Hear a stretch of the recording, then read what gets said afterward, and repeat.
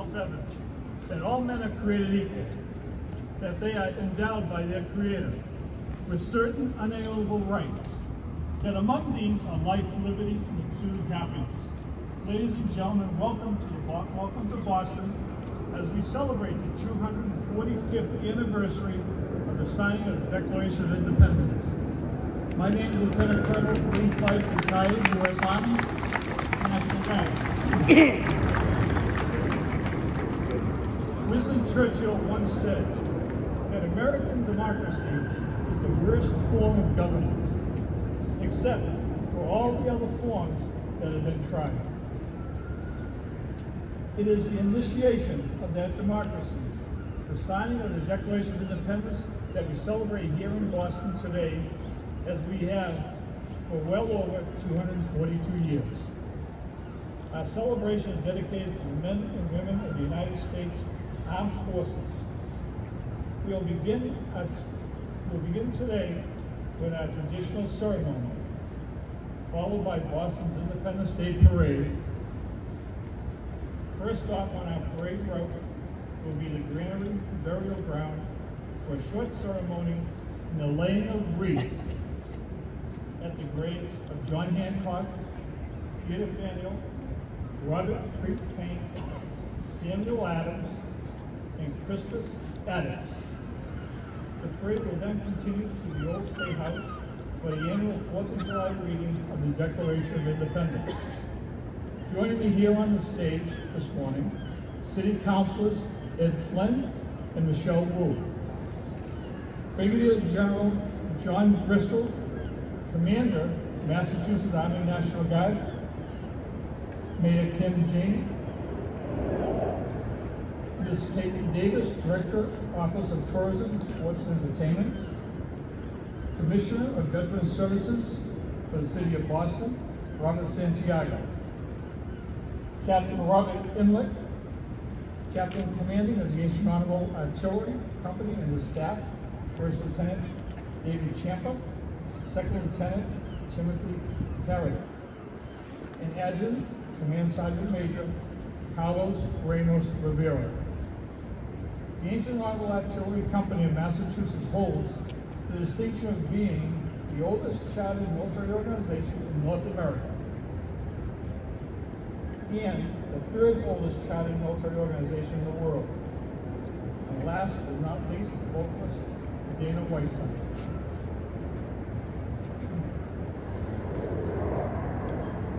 Captain Inlet, Commander of the Ancient Honorable Artillery Company, kindly have your adjutant, Command Sergeant Major Ramos Rivera, call the parade to attention and present arms for the singing of the national anthem by Dana Whiteside, accompanied by the Zava Military Band, followed by the Pledge of Allegiance.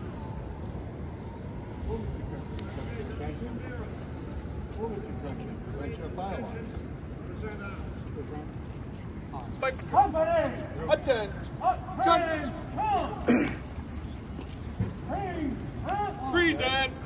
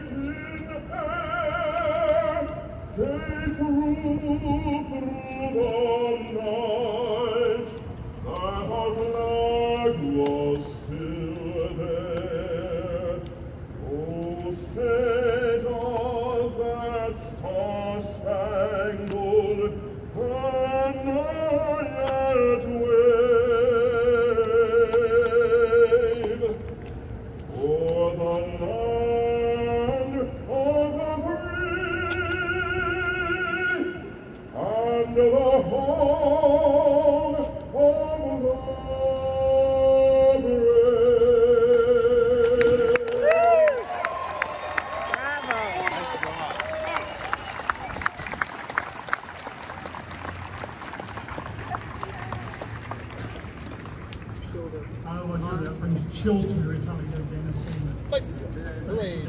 Rest.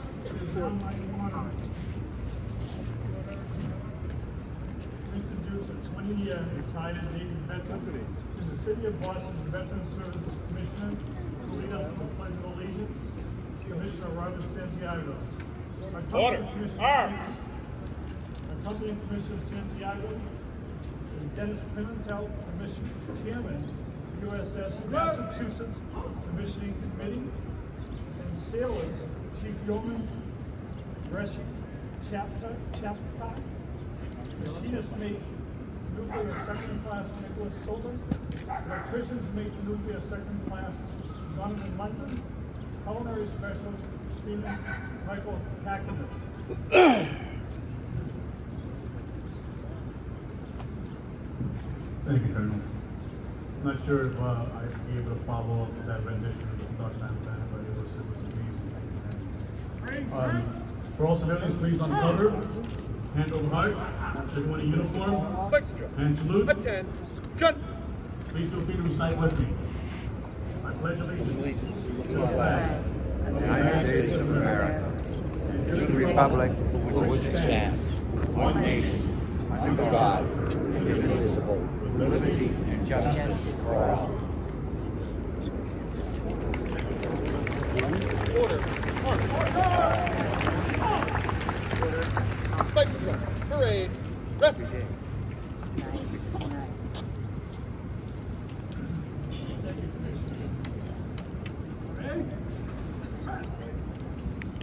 is now my distinct privilege to introduce the mayor of the city of Boston, Kim Janey. The fifty-fifth mayor of Boston, Mayor Janey, is leading Boston. And leading Boston through the COVID-19 pandemic with a citywide agenda for recovery, reopening, and renewal. A proud fourth-generation Roxbury resident, Mayor Janey comes from a long line of educators, entrepreneurs, artists, advocates. Mayor Janey?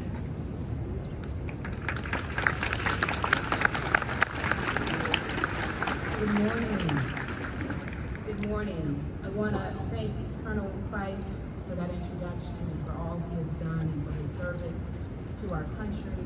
I want to thank Dana Whiteside for that lovely rendition of our national anthem. Thank you so much. I want to thank uh, Commissioner Robert Santiago for your service. Certainly, I want to acknowledge uh, General Driscoll. I want to acknowledge electeds that are here, my good friends, Councilor Flynn and Councilor Wu, who have joined us. I'm old enough to remember the bicentennial 45 years ago. I was 11 years old, and it was such an exciting time thinking about 200 years, the 200th birthday of our country. At 11 years old, there was a lot to celebrate in terms of the fireworks and everything that made that bicentennial special. I also remember that fall that I would go off to school, to middle school, as I was bused during court-ordered desegregation. And standing here 45 years later, as the 55th mayor, representing how far our city has come is truly amazing. I'm so excited to celebrate our nation's birthday. Personally, I love birthdays. Birthdays are my favorite time of year. It is a time of renewal. It is a second chance to get it right. And as we celebrate our nation's birth, as we continue to do the work to perfect our union, I hope we don't lose sight of the work that remains to truly make sure our nation is the land of the free and the home of the brave for all of us. That is the work that we are doing here in Boston as we continue to ensure that all of our residents have a place to call home. And I am so grateful for all of our servicemen and women who protect our nation every single day, whether here, on our land, or away. I'm really grateful to all of our residents who continue to do the work every single day to lift up the values and the ideals of our nation, to make sure that we are living out that truth every single day. So I won't speak long. I just want to say happy birthday. 245 years of our nation is a great thing to celebrate. Let's continue to do the work every single day to make sure we're living out those ideals and our values. Thank you.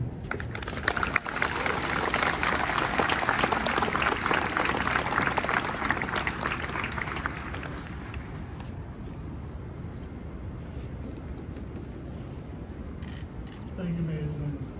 And, um, to, uh, my wishes, um, acknowledging the councilman, I have, uh, missed one of our councilors, so I'd like this time to acknowledge Essaibi George, council. And now there's our shade hand, and the direction, Mr. Frank Zago will play Stars and Stripes Forever.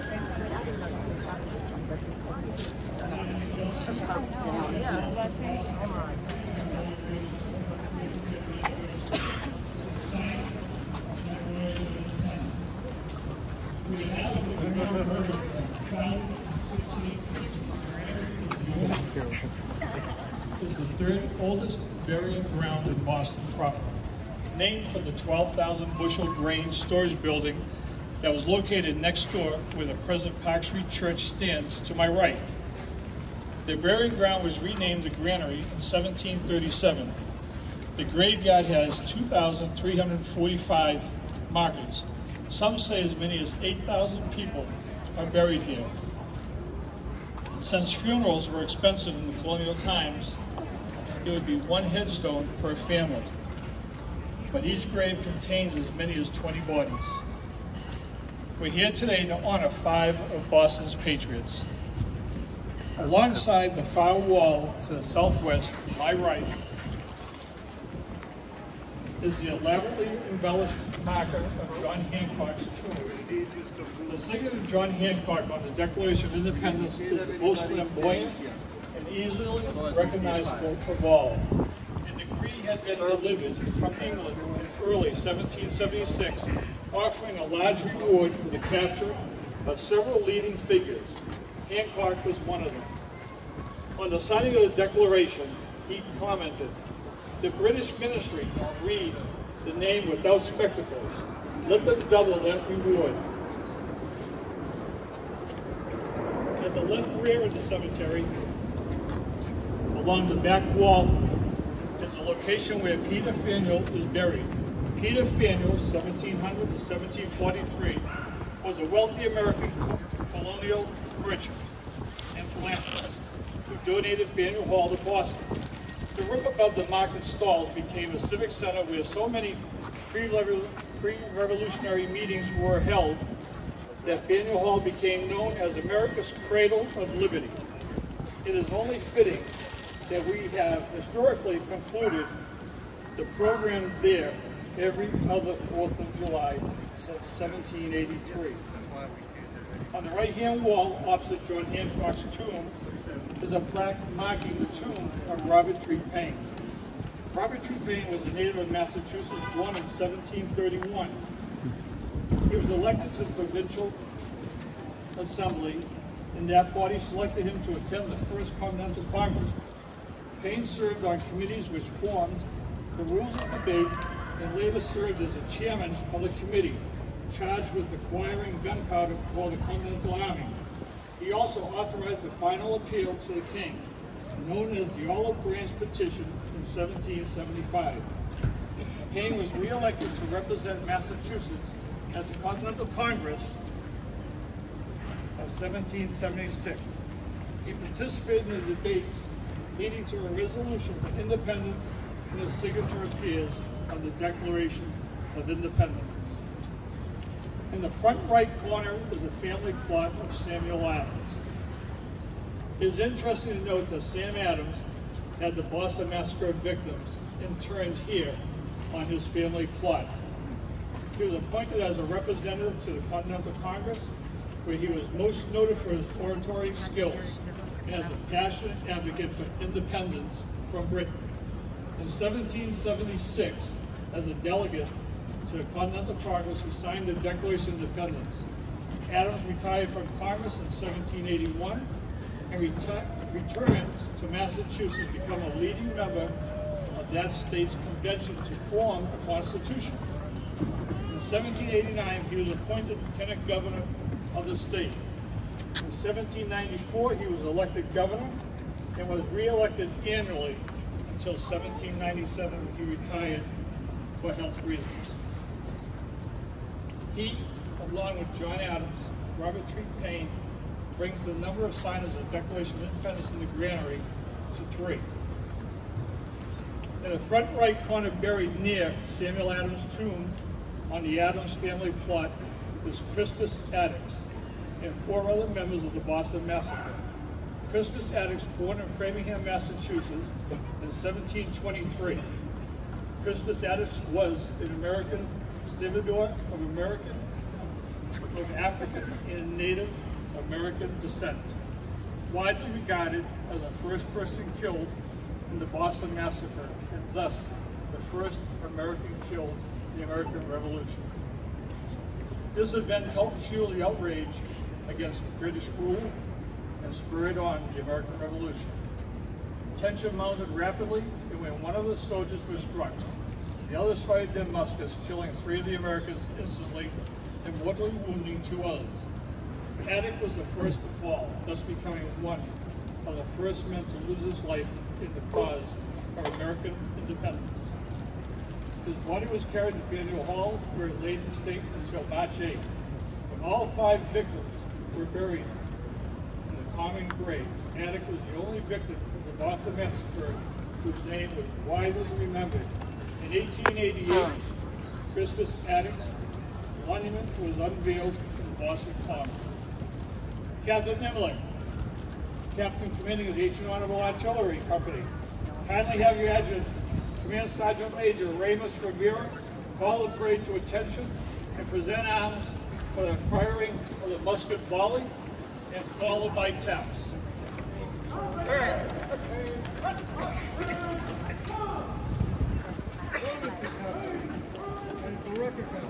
Ready?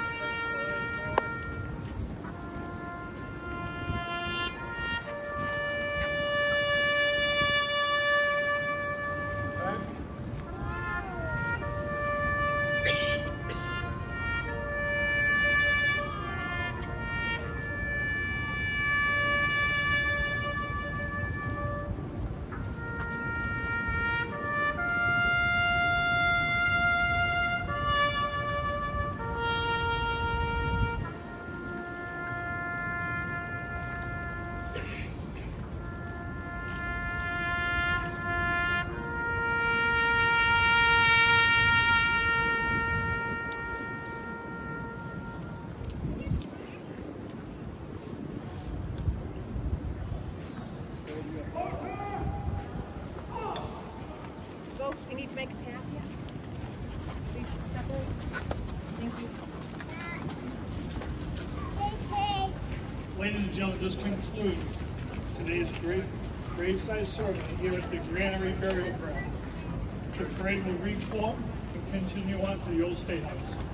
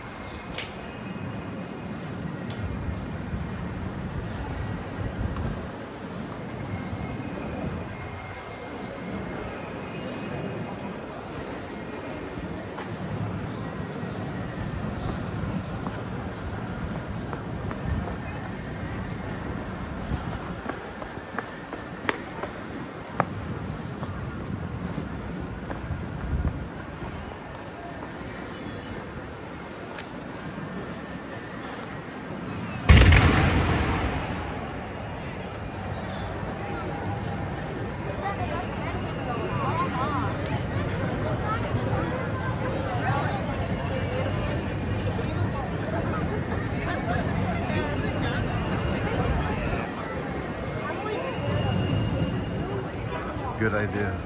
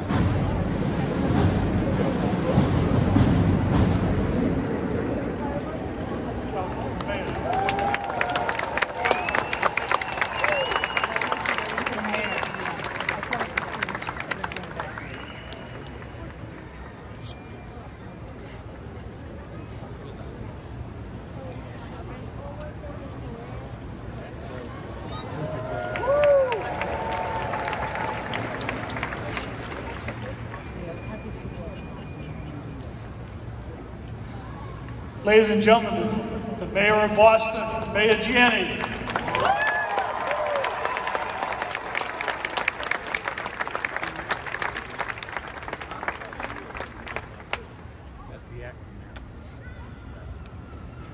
Good morning. What an amazing birthday party for our nation. Good morning. We're here to celebrate the 4th of July as Independence Day for our nation. And Boston is the birthplace of our country.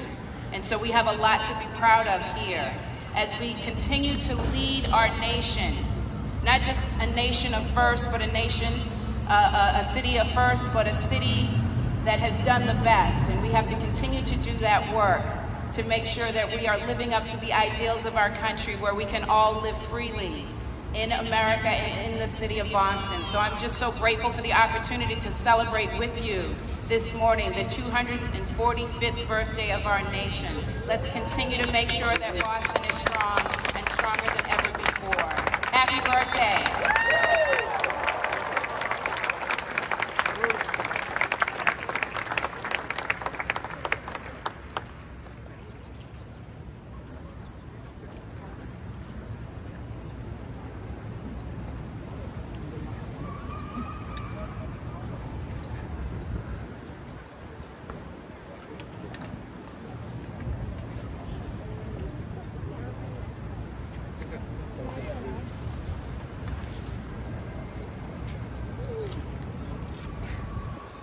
We hold these truths to be self-evident, that all men are created equal, that they are endowed by their Creator with certain unalienable rights, that among these are life, liberty, and the pursuit of happiness.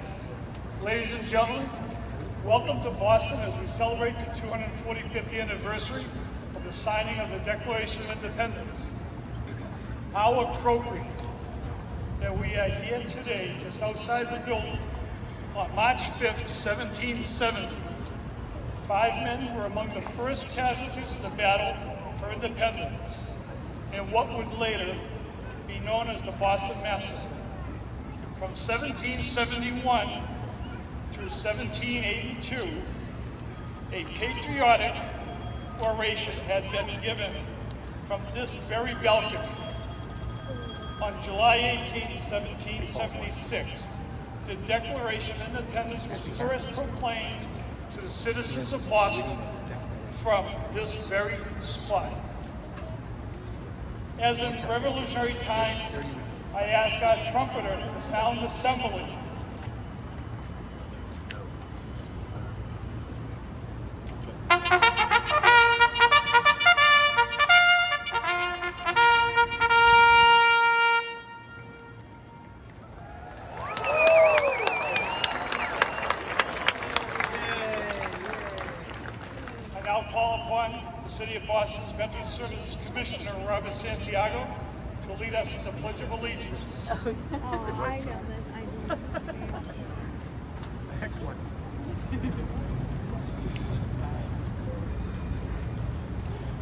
All civilians, please uncover.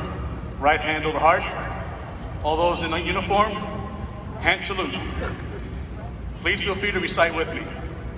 I pledge allegiance to the flag of the United States of America and to the republic for which it stands, one nation, under God, indivisible, with liberty and justice for all.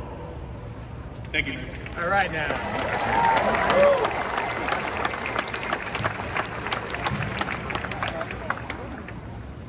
Now, Captain Emlet, Captain Commanding of the 18th Honorable Artillery Company will read the Declaration of Independence.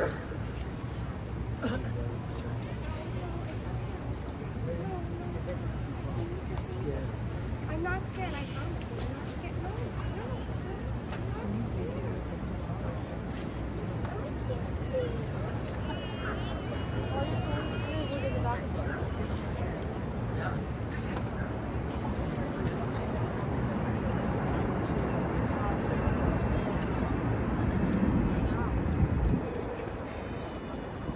Good morning. An action of the Second Continental Congress, July 4, 1776, the unanimous declaration of the 13 United States of America. When in the course of human events it becomes necessary for one people to dissolve the political bands which have connected them with another, and to assume amongst the powers of the earth the separate and equal station to which the, which the laws of nature and of nature's God entitle them. A decent respect to the opinions of mankind requires that they should declare the causes which impel them to the separation. We hold these truths to be self-evident, that all men are created equal, that their Creator, endowed by, endowed by the Creator with certain unalienable rights, that among these are life, liberty, and the pursuit of happiness. To secure these rights, governments are instituted among men, deriving their powers from the consent of the governed. That whenever any form of government becomes destructive of these ends, it is the right of the people to alter or to abolish it, and to institute new government, laying its foundation on such principles and organizing its powers in such form as to them shall seem most likely to affect their safety and happiness. Prudence, indeed, will dictate that governments long established should not be changed for light and transient causes. And accordingly, all experience hath shown that mankind are more disposed to suffer while evils are sufferable than are to right themselves by abolishing the forms to which they are accustomed. But when a long train of abuses and usurpations, pursuing inevitably to the object, evinces a design to reduce them under absolute deposition, it is their right, it is their duty, to throw off such government and to provide new guards for their future security. Such has been the patient sufferance of these colonies, and such is now the necessity which constrains them to alter their former systems of government. The history of the present King of Great Britain is a history of repeated injuries and usurpations, all having a direct object, the establishment of absolute tyranny over these states. To prove this, let facts be submitted to a candid world. He has refused his assent to, to laws, the most wholesome and necessary for the public good. He has forbidden his governors to pass laws of immediate and pressing importance unless suspended in their operation till his assent should be obtained. And when so suspended, he has utterly neglected to attend to them. He has refused to pass other laws to the accommodation of large districts of people, unless those people would relinquish the right of representation in the legislature, a right inestimable to them and formidable to tyrants only. He has called together legislative bodies at places unusual, uncomfortable, and distant from the depository of their public records for the sole purpose of fatiguing them into compliance with his measures. He has dissolved representative houses repeatedly for opposing with manly firmness his invasions on the rights of the people. He has refused for a long time after such dissolution to cause others to be elected, whereby the legislative powers, incapable of annihilation, have returned to the people at large for their exercise. The state, remaining in the meantime exposed to all of the dangers of invasion from without and convolutions within. He has endeavored to prevent the population of these states, for that purpose, obstructing the laws for naturalization of foreigners, refusing to pass others to encourage their migrations hither, and rising the conditions of new appropriations of lands. He has obstructed the administration of justice by refusing his assent to laws for establishing judiciary power. He has made judges dependent on his will alone for the tenure of their offices and the amount and payment of their salaries. He has erected a multitude of new offices and sent hither swarms of officers to harass our people and eat out their substance. He has kept among us, in times of peace, standing armies without the consent of our legislature. He has affected to render the military independent of and superior to the civil power.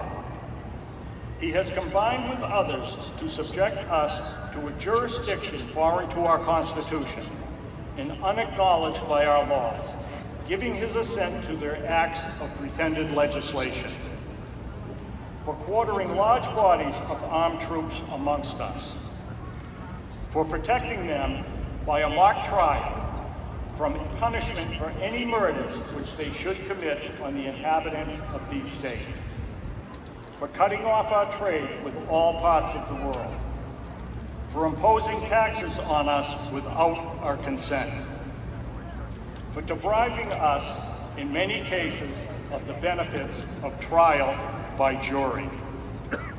For transporting us beyond seas to be tried for pretended offenses for abolishing the free system of English laws in a neighboring province, establishing therein an arbitrary government, and enlarging its boundaries so as to render it at once an example and fit instrument for the introducing the same absolute rule into these colonies.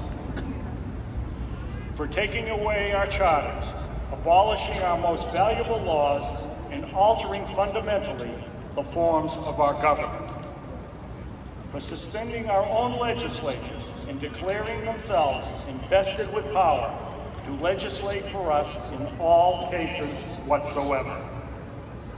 He has abdicated government here by declaring us out of his protection and waging war against us. He has plundered our seas, ravished our coasts, burnt our towns, and destroyed the lives of our people. He is, at this time transporting large armies of foreign mercenaries to complete the works of death, dissolution, and tyranny already begun with circumstances of cruelty and perfidy scarcely paralleled in the most barbarous ages and totally unworthy of the head of a civilized nation. He has constrained our fellow citizens taken captive on the high seas to bear arms against their, their country, to become the executioners of their friends and brethren, or to fall themselves by their hands. He has excited domestic insurrections amongst us, and has endeavored to bring on the inhabitants of our frontiers, the merciless Indian savages, whose known rule of warfare is an undistinguished destruction of all ages, sexes, and conditions. In every stage of these oppressions, we have petitioned for redress in the most humble terms. Our repeated petitions have been answered only by repeated injury. A prince whose character is thus marked by every act which may define a tyrant is unfit to be the ruler of a free people. Nor have we been wanting in attentions to our British brethren. We have warned them from time to time of attempts by their legislature to extend an unwarrantable jurisdiction over us.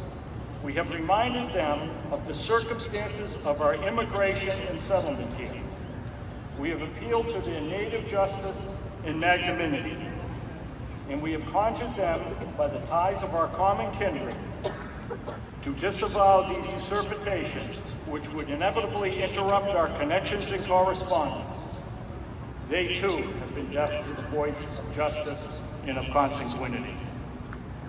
We must therefore acquiesce in the necessity which denounces our separation and hold them as we hold the rest of mankind, enemies in war, in peace, friends.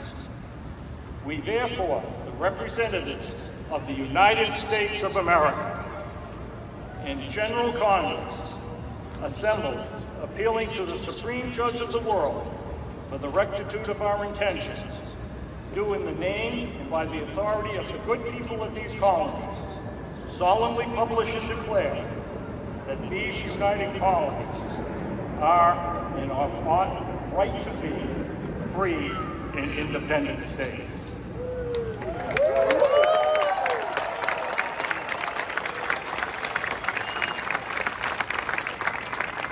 That they are absolved from all allegiance to the British Crown, and that all political connection between them and the state of Great Britain is and ought to be totally dissolved, and that as free and independent states, they have full power levy war, conclude peace, contract alliance, establish commerce, and do all other acts and things which independent states may of right do.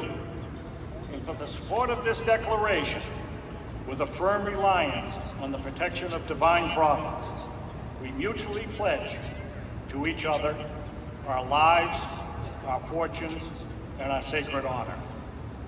On behalf of the Ancient and Honorable Artillery Company of Massachusetts, welcome to Boston. We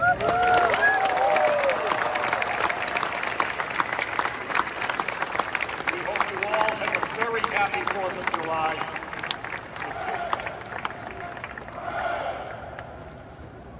It feels great to once again be able to gather after not having this ceremony last year.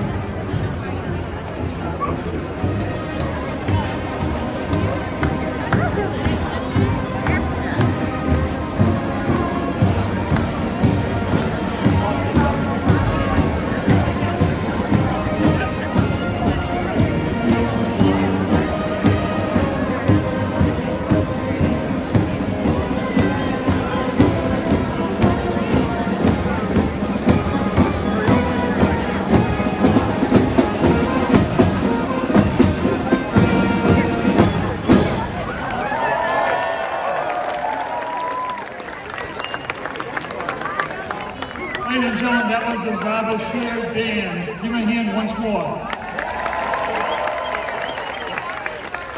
And now, once again, it's my pleasure to introduce to you the vocalist, Dana Whiteside. God Bless America.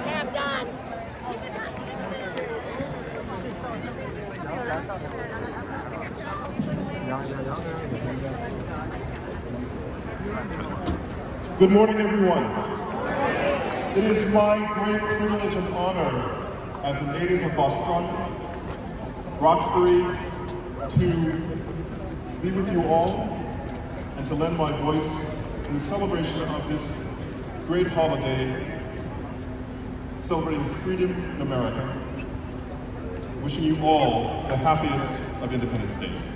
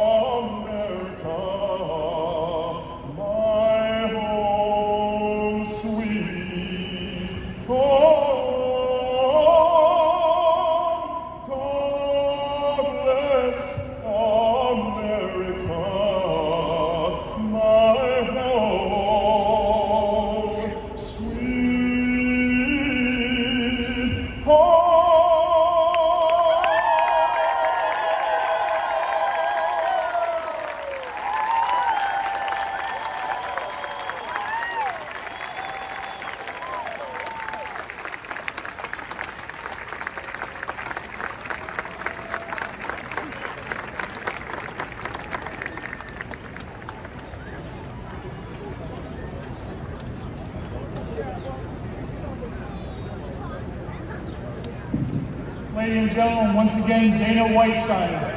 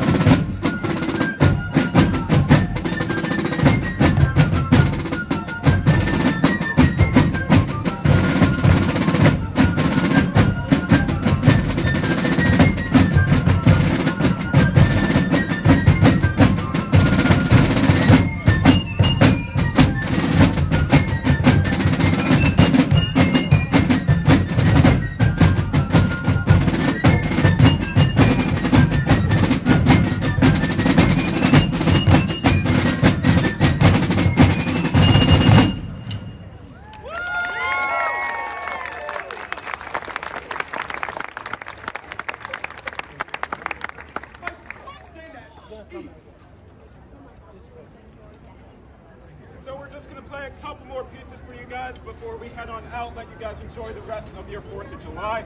Uh, just as a reminder, we are the Middlesex County Volunteers Fifes and Drums. If you're interested in a CD, we do have them available for $10 cash. Uh, we'll, do more sets before we take off. Uh, please have a happy, healthy, and safe 4th of July. It's great to be out playing for you guys. Thank you so much.